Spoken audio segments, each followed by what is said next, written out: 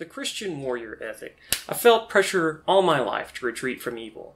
Uh, the idea seems to be that somehow Christians owe it to others to forgive, and therefore any sort of judgment, any action taken to protect the innocent, or to stand for justice is really some form of anti Christian oppression or judgmentalism. Uh, slowly but surely, I've come to believe that this is a dangerous lie. Turn the other cheek. One of the, the more profoundly pacifistic passages in the Bible is in Matthew 5 38 to 48, and I'll just read it. Uh, ye have heard that it hath been said, An eye for an eye, and a tooth for a tooth. But I say unto you, that ye resist not evil. But whosoever shall smite thee on thy right cheek, turn to him the other also. And if any man will sue thee at the law and take away thy coat, let him have thy cloak also. And whosoever shall compel thee to go a mile, go with him twain. Give to him that asketh thee, and from him that would borrow of thee, turn thou not away. Ye have heard it hath been said, Thou shalt love thy neighbor, and hate thine enemy. But I say unto you, love your enemies, bless them that curse you, do good to them that hate you, and pray for them which despitefully use you, and persecute that ye may be the children of your Father which is in heaven.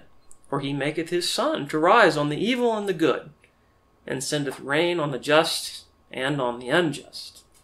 For if ye love them which love you, what reward have ye? Do not even the publicans the same? And if ye salute your brethren only, what do ye more than others? Do not even the publicans so? Be ye therefore perfect, even as your Father, which is in heaven, is perfect. You know what this passage never once says? Stand by and let evil be done to the innocent. It never says that. The verse is about a Christian giving ground when and only when the evil comes upon them personally. It is about taking evil upon yourself and overcoming it with generosity and righteous deeds. This is echoed again in Romans 12, 14 to 21. Bless them which persecute you. Bless and curse not. Rejoice with them that do rejoice, and weep with them that weep. Uh, be of the same mind one towards another. Mind not high things, but condescend to men of low estate. Be not wise in your own conceits. Recompense to no man evil for evil. Provide things honest in the sight of all men. If it be possible, as much as it be with you, live peaceably with all men. Dearly beloved, avenge not yourselves, but rather give place unto wrath. For it is written, Vengeance is mine, I will repay, saith the Lord. Therefore, if thine enemy hunger, feed him. If he thirst, give him drink. For in so doing you shall heap coals of fire on his head. Be not overcome with evil, but overcome evil with good. You know, you heap coals of fire on his head? It's not exactly complimentary. The point here is not that you promote evil or give ground to evil or let evil get away with it. You overcome evil by compensating for the evil with an extra effort on your own part. Again, this is not about letting somebody beat the crap out of somebody else and lecturing the victim how they need to forgive. This is about you going over to the victim and helping him. Or this is about you going over to somebody who's threatening someone and saying, look, if you want some money, I'll give it to you and leave the guy alone. I'll make up the difference. I'll do it. I'll do the extra work to prevent the evil thing from happening, not to just let the evil thing go.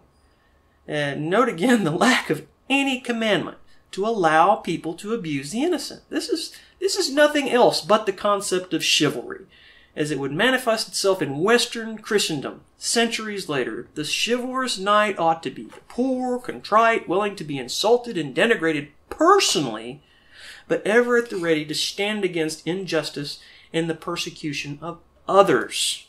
I'm not saying that that is what medieval knights always actually did. I am simply pointing out that that is the legend of them. And that is a concept that arose over the years in the popular Christianized Western mind that a good knight ought to behave this way. And this became the attitude that we wanted to see in our government. The government ought to be full of humble men willing to take on the righteous cause, even of men of low estate, and ever ready to defend us from evil. So that's the first issue that I think we're facing. We need to stop pretending to ourselves that Christians owe it to folks to give ground to evil just as a general principle. The Bible does not teach that. It teaches that a Christian ought to give ground to evil personally, if by doing so he might be able to negotiate peace with a personal adversary, not to give ground to evil and by peace at the cost of injustice for all. Thanks for watching.